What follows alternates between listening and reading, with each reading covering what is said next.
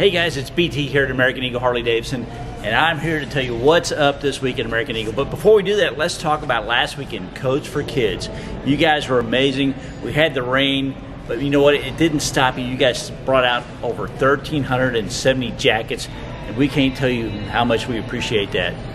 That's almost $400,000 of coats that you guys have donated over 11 years, and it wouldn't be possible without you. I hope you guys enjoyed Big Daddy Band and Metal Shop. They were awesome, and I can't wait to do it again next year.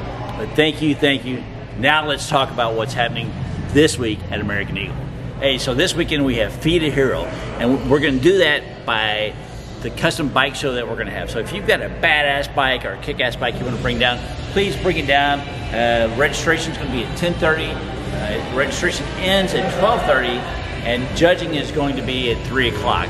Now, this is a great way to support all the first responders here in North Texas. We're going to have Nikki and Ryan up live on stage, and the Spartan food truck, which is always one of my favorites. Hey, if that's not cool enough, we have selfies with Santa, and that's going to be until 3 o'clock. So come on out. Can't wait to see you for that.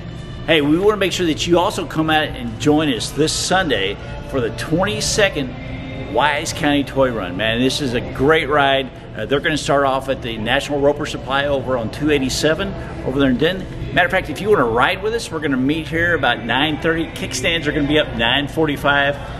We're going to go over there. Hey, you need to bring one toy and $10 per rider for this ride. It's a great ride. It's police led, so we're going to have a great time. I think they have two, maybe three bands, a whole bunch of food trucks and vendors. It's going to be a good time. We're going to be hanging out with our buddy and our friend Randy James from Lone Star 92.5. Make sure you come out. We're going to have a great time, and we hope to see you Sunday, so don't miss it.